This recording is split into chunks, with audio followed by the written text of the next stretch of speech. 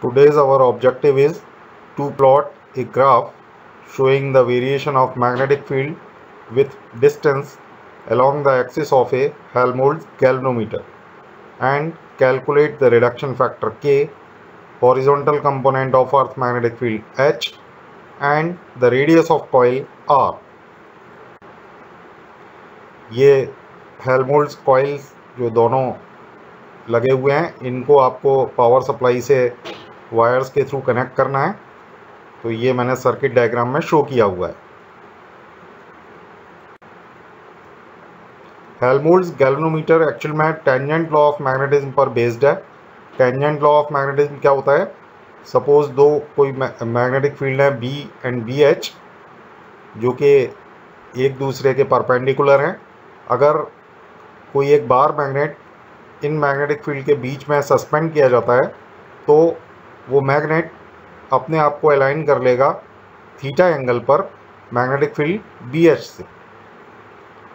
और आप इसको इस तरह से लिख सकते हैं B equals to B H tan theta इसको टेंजेंट लॉ ऑफ़ मैग्नेटिज्म बोलते हैं।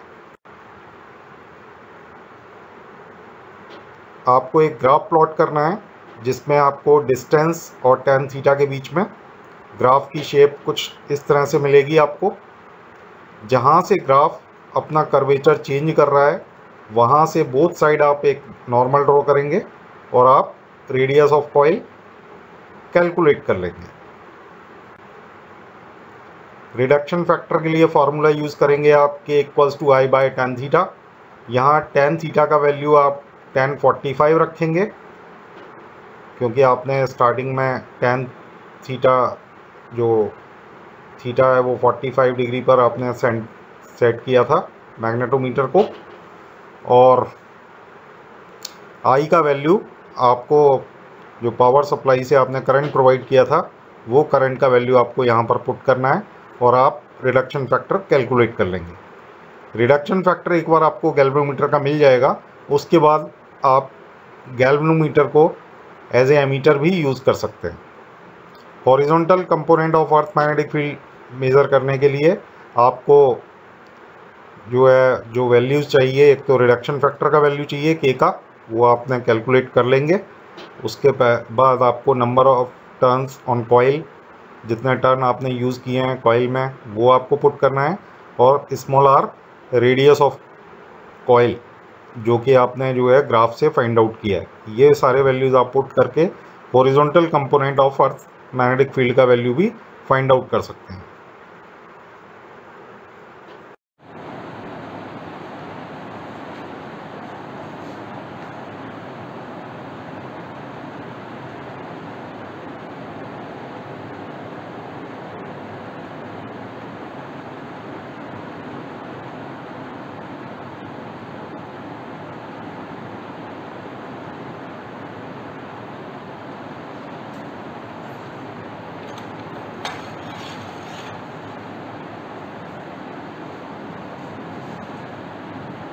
हेलो स्टूडेंट्स ये है आपका experimental arrangement for Helmholtz galvanometer जिसकी ऑब्जेक्टिव है, जिसमें आपको जो है एक तो वेरिएशन ऑफ़ मैग्नेटिक फ़ील्ड देखना है प्लस जो है आपको रिडक्शन फैक्टर कैलकुलेट करना है horizontal component of earth magnetic field आपको फाइंड आउट करना है, जो कि प्लेस टू प्लेस डिफरेंट हो सकता है, और आपको जो है हम्म, ये जो कॉइल्स हैं इसका रेडियस फाइंड आउट करना है इस एक्सपेरिमेंट में ठीक है? तो ये आपका एक्सपेरिमेंटल अरेंजमेंट है जिसमें ये मेन ऑपरेटर्स हैं this one is power supply ये पावर सप्लाई है ठीक है? इसमें एक नेगेटिव टर्मिनल है एक पॉजिटिव टर्मिनल है दोनों से मैंने वायर लगाए हुए हैं और ये एक नॉब है इसके थ्रू जो है करंट वेरी करेगा क्लियर इसको बोलते हैं कम्यूटेटर ये क्या है? ये जो है जस्ट लाइक like जो है, आप, जैसे कि वन वे की और टू वे की आपने यूज़ किया होगा, उस तरह का एक अरेंजमेंट है। और जो है, आप इसको टेक्निकल लैंग्वेज में कम्यूटेटर बोलते हैं। जब आमने सामने आप कीज़ डालेंगे तो करंट एक डायरेक्शन में फ़्लो करेगा। और जब आप कीज़ का डायरेक्शन ये चेंज कर देते हैं तो करंट आपका दूसरे डायरेक्शन में फ्लो करेगा। ठीक है? तो एक साइड को आप डायरेक्ट साइड एज्यूम करेंगे और दूसरे साइड को आप रिवर्स साइड एज्यूम करेंगे। ठीक है? इट डिपेंड्स ऑन यू कौन सा डायरेक्ट डायरेक्शन है और कौन सा रिवर्स डायरेक्शन है, ये आपके ऊपर डिपेंड करता है। लेकिन एक डायरेक्शन को डायरेक्ट मानेंगे आप और एक को रिवर्स अब ये है हेलमोल्ड्स गैल्वेनोमीटर इसको बोलते हैं। ये दो कॉइल्स हैं। इनको देख रहे हैं आप। इन कॉइल्स में जो है टैपिंग के थ्रू नंबर ऑफ़ टर्न्स आप सिलेक्ट कर सकते हैं। जैसे कि इसमें जो दिया हुआ है, एक तो 100 टर्न्स हैं देन 250 टर्न्स हैं एंड 500 टर्न्स हैं। तो जितना टर्न्स आप यूज़ करना चाहें, इस कॉयल के, उतने टर्न्स आप यूज़ कर सकते हैं। 100 टर्न्स मैं यहाँ पर यूज़ कर रहा हूँ, क्योंकि जितना ज़्यादा टर्न्स आप यूज़ करेंगे, उतना स्ट्रॉन्ग मैग्नेटिक फ़ील्ड जनरेट होगा। ठीक?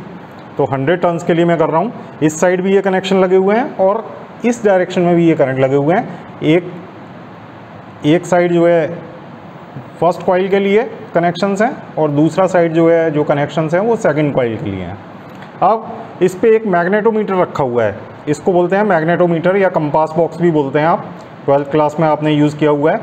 ये क्या है? ये 360 डिग्री का एक सर्कुलर स्केल है, लेकिन इस पर जो मैक्सिमम मार्किंग है, वो zero ninety zero ninety zero इस तरह से है। ये नीचे एक ब्लैक कलर का मैग्नेट लगा हुआ है, और ये मैग्नेट जो है पिन पॉइंट के ऊपर माउंट है पिन के ऊपर। यानी कि इस पर कोई भी एक्सटर्नल फोर्स एप्लीकेबल नहीं है इस समय, और जैसा कि आप जानते हैं, एक एक्सपेरिमेंट आपने पढ़ा होगा ट्वेल्थ में, कि अगर किसी बार मैग्नेट को धागे में बांधकर फ्री सस्पेंड किया जाता है तो वो नॉर्थ साउथ में अलाइन हो जाता है। तो ये जो मैग्नेट है, ये फ्रीली सस्पेंडेड है फ्रीली मूव कर रहा है पिन पॉइंट के ऊपर। तो ये नॉर्थ और साउथ बताएगा। नॉर्थ और साउथ डायरेक्शन में ही अलाइन होगा ऑलवेज तो इस पर जो रेड पॉइंट है, ये नॉर्थ पोल इंडिकेट करता है। तो ये आपका नॉर्थ डायरेक्शन हो गया, इसके अपोजिट ये साउथ देन ये ईस्ट डायरेक्शन हो जाएगा और ये वेस्ट डायरेक्शन चार्ट आप जानते हैं।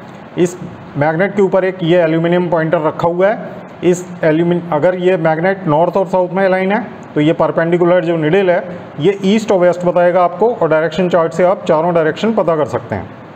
ये नॉर्थ, ये साउथ, ये ईस्ट, सॉरी, ये ईस्ट एंड ये वेस्ट। क्लियर? तो इस तरह से आपने डायरेक्शन पता कर लिया। अब सबसे पहला काम क्या करना है? आपको लैब में जब भी आप एक्सपेरिमेंट परफॉर्म करेंगे तो इस तरह से रखा मिलेगा। अब आपको इस एपरेटस को ईस्ट वेस्ट डायरेक्शन में रखना है मैग्नेटिक मेरिडियन में रखना है। तो मैग्नेटिक मेरिडियन में रखने के लिए आप इस होल असेंबली को इस तरह से मूव करेंगे कि ये जो निडिल है और ये ऑपरेटर्स के जो आर्म्स हैं, ये पैरेलल हो जाएँ। देखते हैं। ये ये देखिए, ये निडल अब आपका ज़ीरो ज़ीरो पर आ गया है। ऑलमोस्ट ठीक? तो ये आपने डायरेक्शन सेट किया एपरेटस का। सबसे इंपॉर्टेंट पार्ट इस एक्सपेरिमेंट को परफॉर्म करने के लिए इसकी डायरेक्शन है। इस डायरेक्शन में जब भी आप एक्सपेरिमेंट को परफॉर्म करेंगे तो अर्थ का जो मैग्नेटिक फ़ील्ड है, वो आपके एक्सपेरिमेंट को इम्पैक्ट नहीं करेगा। यानी अर्थ का मैग्नेटिक फ़ील्ड आपने ललीफाई कर लिया। इसको बोलते हैं एपरेटस को मैग्नेटिक मेरिडियन में सेट करना। क्लियर एक चीज़ और देखिए आप, इस एपरेटस के जो आर्म्स हैं, इस पर एक सेंटीमीटर स्केल मार्क है। देखिए। ये आपको एक सेंटीमीटर स्केल दिख रहा है और इस समय आपका जो मैग्नेटोमीटर है, वो ज़ीरो पर रखा हुआ है।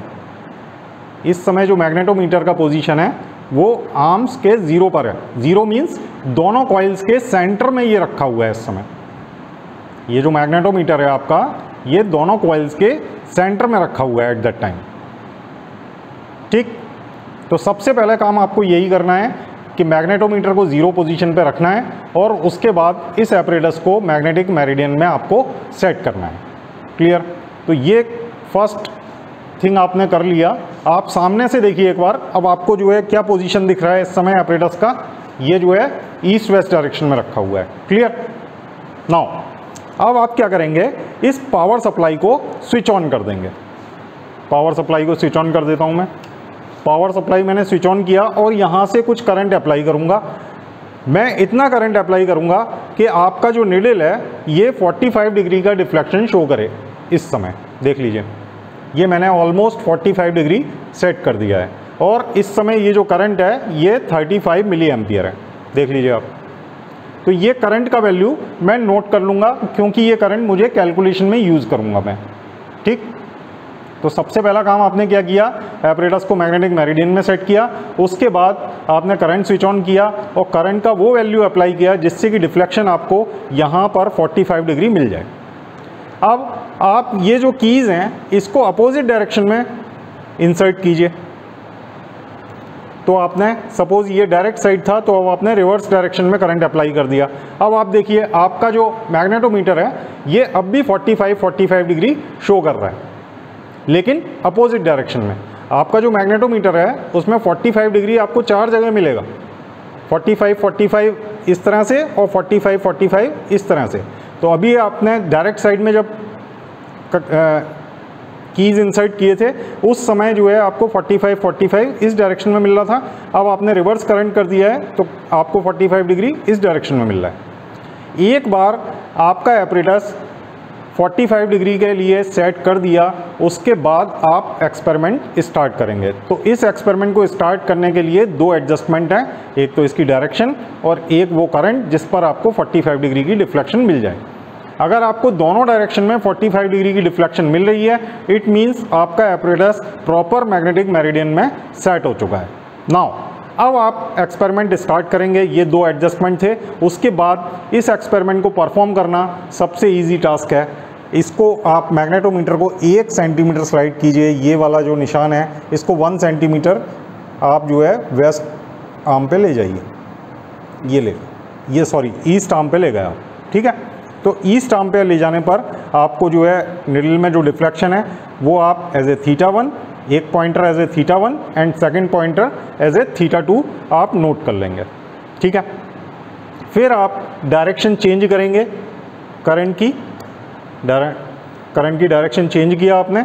और अब जो डिफ्लेक्शन आपका निडल शो कर रहा है, उसको as a theta three and theta four आप नोट कर लेंगे। सिमिलरली फिर आप एक सेंटीमीटर और स्लाइड करेंगे इसको मैग्नेटोमीटर को ईस्ट आर्म पे। ठीक है? और एक pointer as a theta one and second pointer as a theta two आप नोट कर लेंगे। ठीक?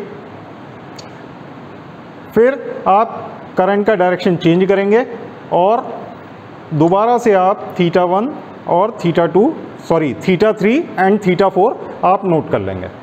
तो इस तरह से आपको ईस्ट आर्म पर करीब 20 सेंटीमीटर तक एक एक सेंटीमीटर के सेपरेशन पर रीडिंग नोट करना है। ठीक है? 20 सेंटीमीटर तक ईस्ट आर्म पे।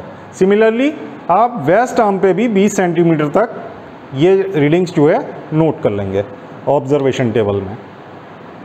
क्लियर तो आपको जब आप जो है रिडक्शन फैक्टर कैलकुलेट करेंगे या horizontal component of earth magnetic field calculate करेंगे तो आपको दो से तीन पैरामीटर याद रखने हैं। एक तो करंट का वैल्यू ये करंट का वैल्यू आपको फॉर्मूले में यूज़ होगा। प्लस ये जो आपका number of turns on coil है।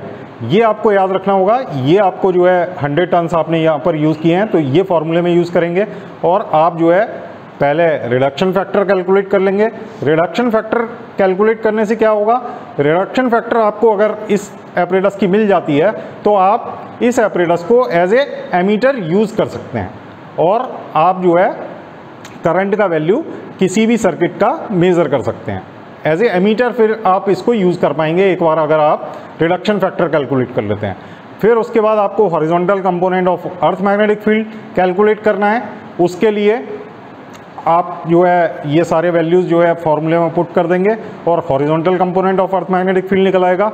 वेरिएशन ऑफ़ मैग्नेटिक फ़ील्ड का स्टडी आपने कर ही लिया है ग्राफ के थ्रू ग्राफ प्लॉट करेंगे आप डिस्टेंस और डिस्टेंस और टेन थीटा के बीच में।